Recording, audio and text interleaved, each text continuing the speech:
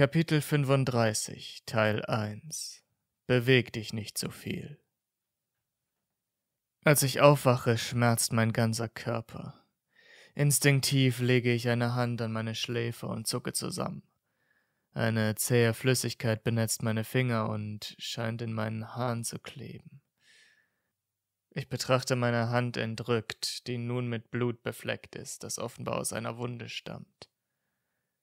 Irritiert richte ich mich vom Steinboden auf, nur leichtes Mondlicht dringt durch das vergitterte Fenster und ermöglicht es, dass ich etwas sehen kann.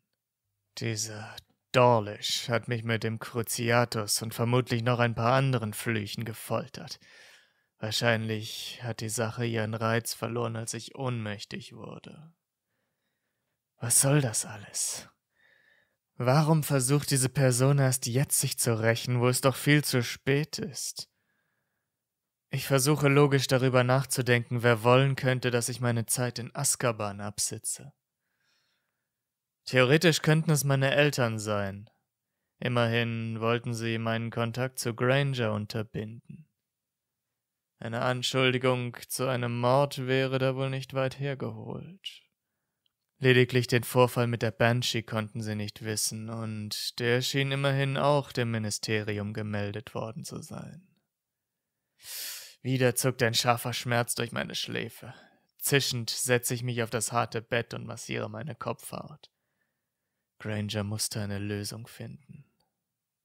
Stunden später, es wird langsam heller, öffnet jemand das Fenster in meiner Zellentür. Ein Wärter sieht mich an. Ich bin gerade dazu übergegangen, ein paar Runden durch den kleinen Raum zu gehen, weil es mich zunehmend kirre macht, nur herumzusitzen.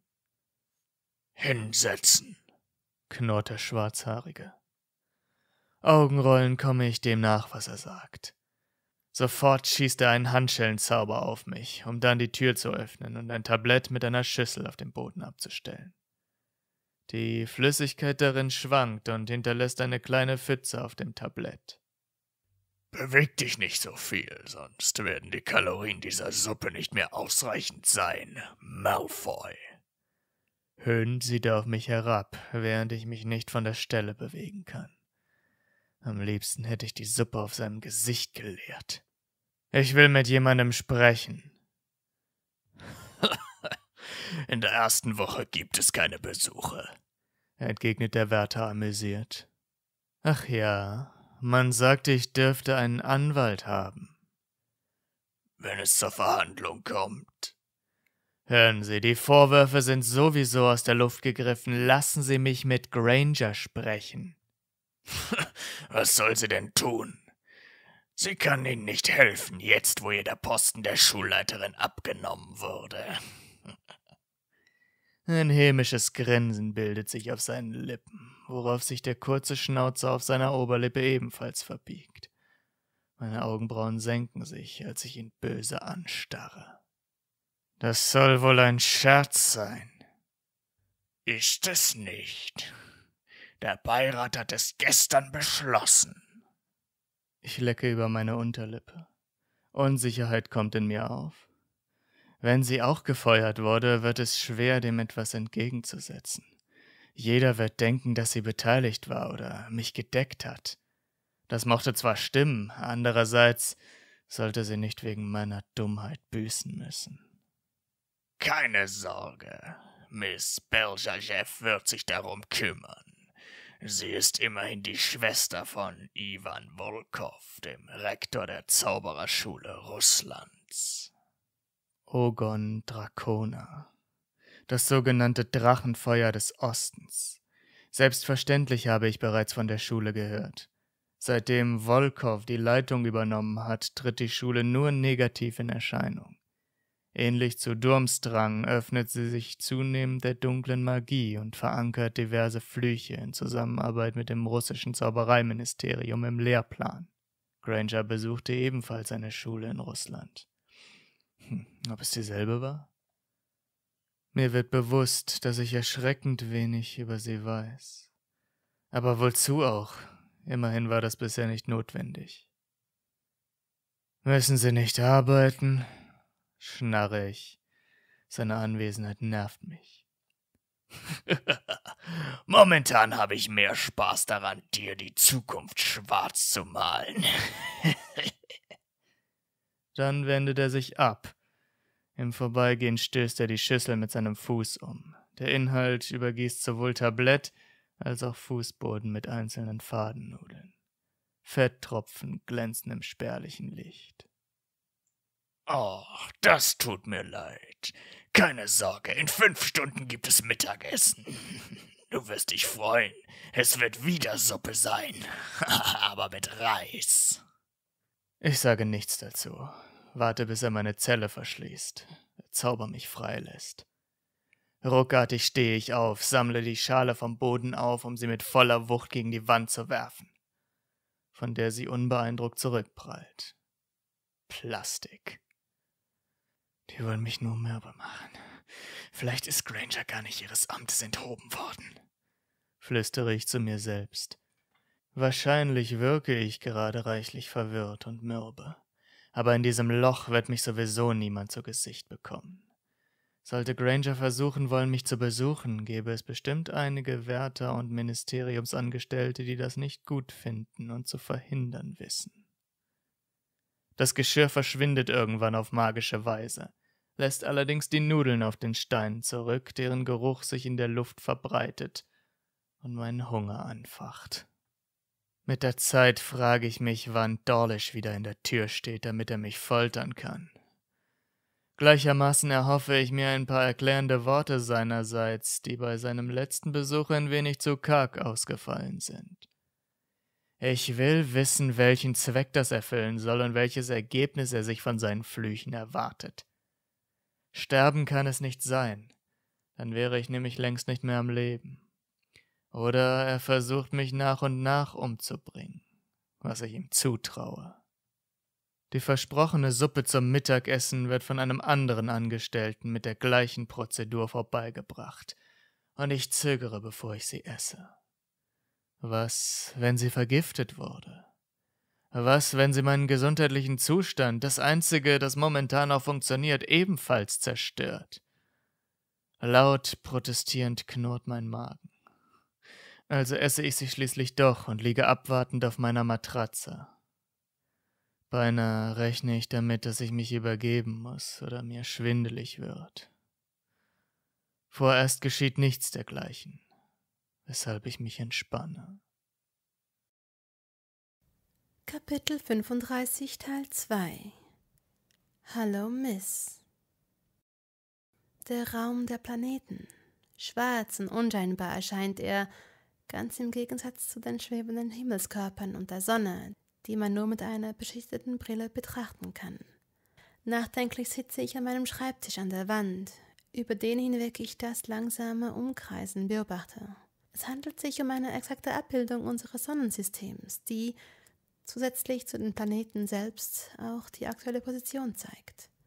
Und ich finde mich an diesem Ort in der Ministeriumsabteilung, weil ich von Hogwarts suspendiert wurde und damit wieder meine alte Arbeitsstelle besetze.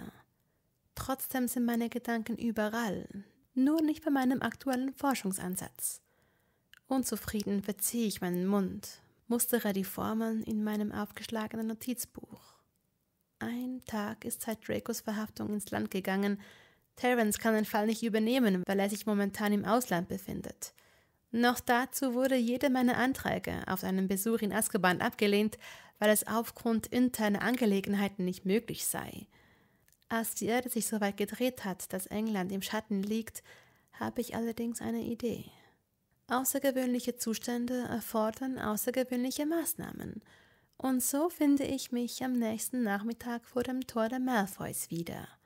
Es widerstrebt mir, diesen Menschen so nahe zu kommen, wie es heute notwendig ist, aber ich glaube, keine andere Möglichkeit zu haben. Mein Plan sieht folgendermaßen aus. Ich versuche ein paar Haare von Narzissa zu stibitzen, damit ich in ihrer Gestalt zu Drago gelange. Wie es sich herausgestellt hat, ist sie diejenige, die in seinem Brief erwähnt wurde, nachdem ich der Veranstaltung der Ministeriums einen Besuch abstattete. Nur will ich den Tag nicht vor dem Abend loben, es kann alles anders kommen, als ich es mir vorstelle. Entschlossen betätige ich die Glocke, die neben dem schmiedeeisernen Tor hängt, worauf sie leise läutet. Langsam öffnen sich die beiden Flügel Ich trete hindurch und folge einem Steinweg bis zur Tür, die bereits von einem Elfen geöffnet wurde. Hallo, Miss. Wen darf Chili dem Meister melden? sagte sie. Ihre Ohren zittern leicht, ihr Körper wird in einem sauberen und darüber staune ich sehr Geschirrtuch umschlossen. Insgesamt sieht sie recht jung aus. Hermine Granger.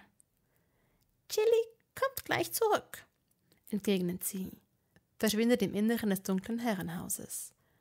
Unwohl sehe ich mich um und entdecke knorrige Rosensträucher, die entlang der Außenmauer gepflanzt wurden und vermutlich seit vielen Jahren dort wuchsen. Innerlich bereite ich mich auf dieses Gespräch vor und bin kurz davor zu flüchten, aber bevor ich das umsetzen kann, erscheint die Elfe erneut. Chili bringt sie zu Master Malfoy. Ich folge der Elfe. Wir durchqueren einen düsteren Korridor, der mit einzelnen Gemälden und einem langen Teppichläufer dekoriert wurde, trotzdem aber wie ein trübseliger Ort wirkt.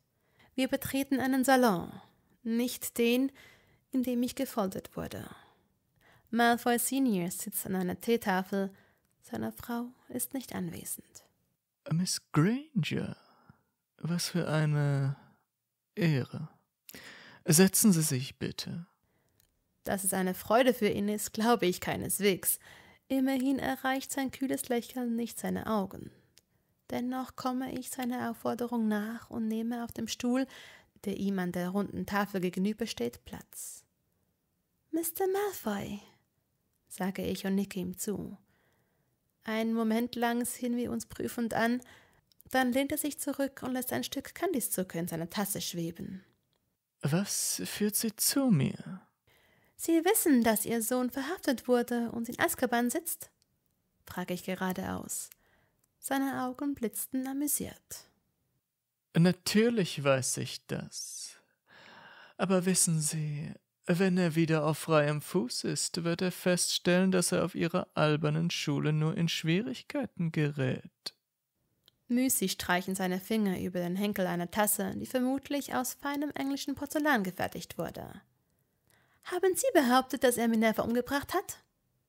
Wer weiß das schon? Hat man Ihnen diese Information nicht anvertraut? Immerhin geht es um Ihren Angestellten. Amüsiert hebt er einen Mundwinkel. Ich schiele auf meine eigene Tasse, die sich wie von Zauberhand mit einem bernsteinfarbenen Tee gefüllt hat. Selbstbewusst begegne ich seinem Blick und studiere seine Züge genau, als ich antworte Ich wurde suspendiert. Es scheint ihn nicht zu überraschen. Er neigt seinen Kopf in meine Richtung. Bedauerlich. So komme ich nicht weiter. Wo ist Ihre Frau? Sie ist nicht zugegen. Kryptisch verschränkte seine Finger auf dem Tisch.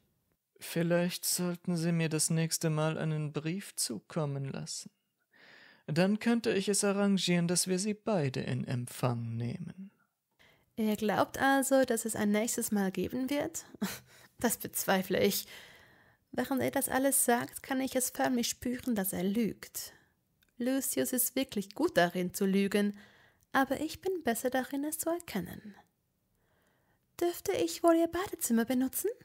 frage ich freundlich, worauf er mit einer Hand auf die Tür deutet, durch die ich den Raum betreten habe. Selbstverständlich. Folgen Sie linke Hand im Flur, es ist die zweite Tür auf der rechten Seite, antwortet er lapidar. Sobald ich mich erhoben habe, greift er nach dem Tagespropheten, der neben ihm auf dem Tisch liegt, und versperrt mir die Sicht auf ihn, als er die großen Seiten auseinanderfaltet. Ich durchquere den Flur und lege eine Hand auf den Türknauf der besagten Tür, aber ich halte inne und sehe mich um. Erinnerungen an meinen letzten Besuch in diesem Haus flackerten vor meinem inneren Auge auf, und ich gehe weiter den Flur entlang und erreiche den zweiten, größeren Salon. Langsam öffne ich die Tür. Mein Blick fällt sofort auf die üppigen Kronleuchter an der Decke. Ich beachte ihn jedoch nicht weiter, durchquere den Raum und erreiche die Tür, die zu den Kerkern führt. Schnell und leise öffne ich sie, steige die Treppenstufen herunter, die links daneben im Boden verschwinden. Kerzen an den Wänden entzünden sich flackernd, während ich weiter in die Tiefe steige und schließlich an der Kerkertür ankomme. Hallo, Amora, flüstere ich, worauf sich das Schloss mit einem Klacken öffnet und die Tür einen Spalt aufgleitet. Ich schlucke und werfe einen Blick in das Innere. Nach Luft schnappend lege ich eine Hand auf meinen Mund, während die andere fest meinen Zauberstab umklammert. Ruckartig springt mein Puls in die Höhe. Ich kann einfach nicht glauben, wer da vor mir im Kerker sitzt. Miss Granger, dass es sich hierbei nicht um das Badezimmer handelt, werden Sie hoffentlich schon bemerkt haben. knurrt jemand hinter mir. Ich schnelle herum, erhasche einen Blick auf Malfoys wutverzerrtes Gesicht. Expelliarmus! bellt er und ich bin meinen Stab los. Er schickt einen Stupor! hinterher, der mich mitten auf meine Brust trifft und in den Kerker stößt. Mir wird schwarz vor Augen.